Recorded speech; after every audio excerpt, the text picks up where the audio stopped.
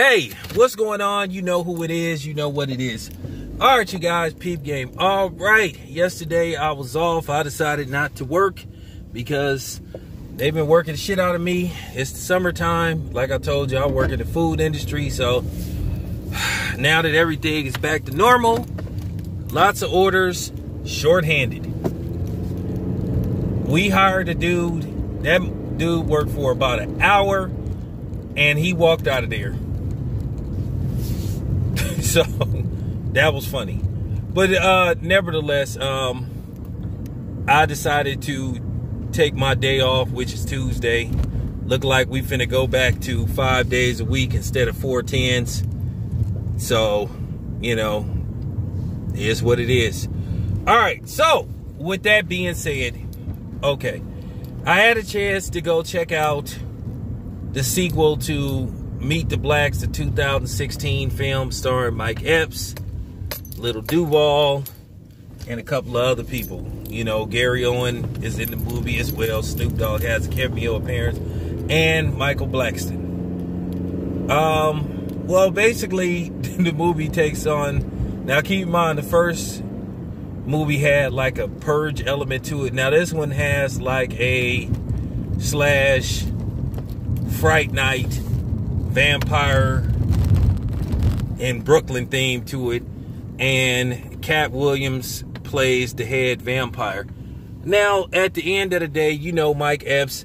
You know some people have criticized Mike Epps over his role selection, some of the things, because you know he's been getting uh, criticized for his role in a TV series. I think it's called The Upshaws you know, I haven't seen that that excuse me that TV show, so I would know. But I know a lot of people have been ripping in to the show, so I haven't seen it. But you know, with Mike Epps, he d- does what he does best. You know, comes with one-liners, and um, you know he Mike Epps he does a lot of improv which means he freestyles a lot of his lines in the movie, and you could tell certain scenes he he you know improv, you know he made up lines on the fly, which is cool. That could work at times.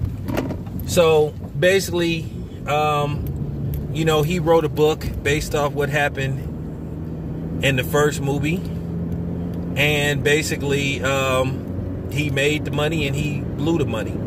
So basically, he ended up moving back, I think, to the ATL.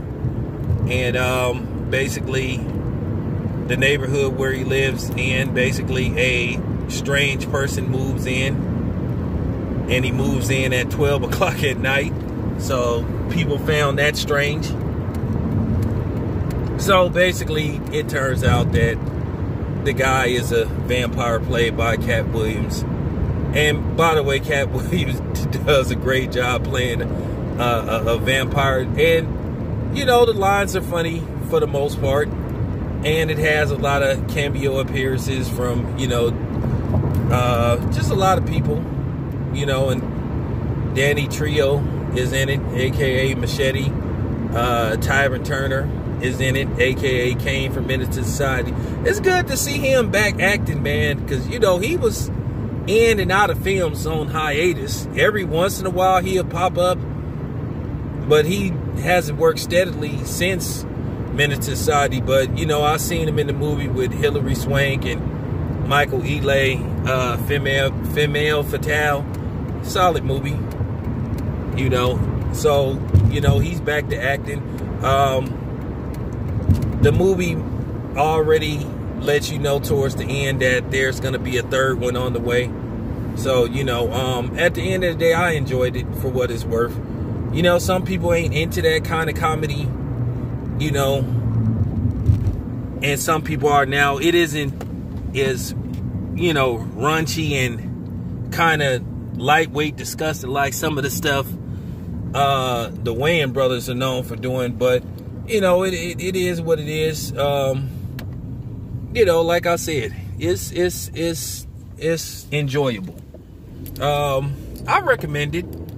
You know, I recommend it. On a scale of one to ten, I give it I give it a seven. Uh, short film movie only has a running time, I think, of an hour and 30, 35 minutes. So goes by pretty quick. So I think you guys will enjoy it. You know, if you into that kind of comedy, if you don't take it seriously. But you know, I wish they would make more uh black versus black vampire movies. I think it's a market for that, and I think we should try that more often.